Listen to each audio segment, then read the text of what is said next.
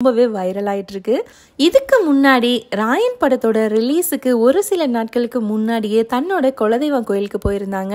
அதுவும் அவங்களோட ஃபேமிலியோட அப்பா கஸ்தூரி ராஜா அம்மா விஜயலட்சுமி அண்ணன் செல்வராகவன் அவரோட மனைவி தனுஷோட தங்கச்சி அப்படின்னு நிறைய சொந்தங்களோட போயிருந்தாரு.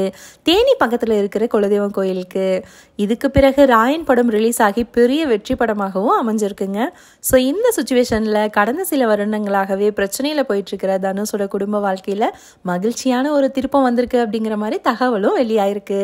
அதாவது திருவண்ணாமலைக்கு தன்னோட மகன்களோட போன தனுஷ் அங்கே இருக்கிற ஸ்பர்ஷா அப்படிங்கிற ஹோட்டலில் குளிச்சு ரெஃப்ரெஷ் ஆகிறதுக்காக ஸ்டே பண்ணியிருக்காங்க.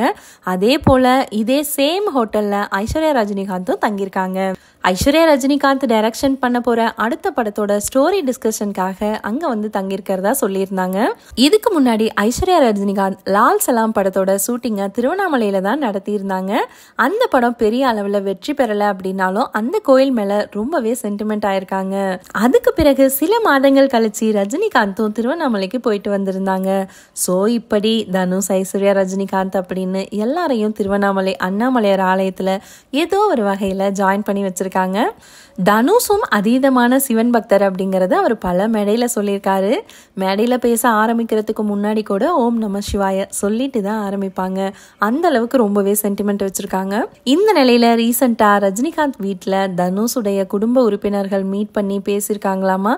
இந்த பேச்சுவார்த்தையில தற்பொழுது விவாகரத்தை தள்ளி வைக்கலாம் அப்படின்னு முடிவு பண்ணியிருக்காங்களாமா? தனுஷ் ஐஸ்வர்யா மீண்டும் சேர்ந்து வாழ போறாங்க அப்படின்னு எந்த உறுதியான முடிவையும் எடுக்கல அப்படின்னாலும் அவங்க பிரியறத தற்காலிகமா தள்ளி வச்சிருக்கிறதாகவும் சொல்லியிருக்காங்க. இந்த மாதிரி நடிகர் தனுஷ் லைஃப்ல சில நல்ல விஷயங்கள்லாம் நடந்துட்டு இருந்தாலும் இன்னொரு பக்கம் அவருக்கு தொழில சில பிரச்சனைகளும் புதுசா ஆரம்பிச்சிருக்கு. ராயன் படம் ரிலீஸ் ஆகிறதுக்கு முன்னாடி தனுஷ் சில தயாரிப்பாளர்கள் கிட்ட நடிக்க ஒப்புக்கிட்டு அட்வான்ஸ் வாங்கியிருக்காரு.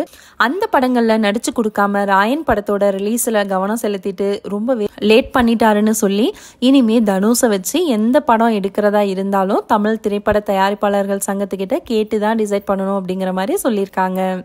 அதே நேரம் நடிகர் தனுஷுக்கு ஆதரவாக நடிகர் சங்கம் சார்பிலையும் கார்த்திக் என்ன சொல்லியிருக்காரு அப்படின்னா இது தவறான முடிவு. தனுஷை பற்றி தயாரிப்பாளர் சங்கத்தில் இருந்து எந்த ஒரு புகாரும் இது வரைக்கும் வரவே இல்லை. அதே போல் அவர் பேரில் எந்த ஒரு புகாரும் நிலுவையிலையும் இல்லை. ப்ரொடியூசர் கவுன்சிலோட இந்த தீர்மானம் பற்றி எங்ககிட்ட ஒரு வார்த்தை கூட கலந்தோசிக்காம முடிவு பண்ணியிருக்காங்க. இது எங்களுக்கு வருத்தமாகவும் அதிர்ச்சியாகவும் இருக்கு அப்படின்னு கார்த்தி உட்பட பல நடிகர்கள் தனுஷுக்கு ஆதரவாக கொடுத்துருக்காங்க.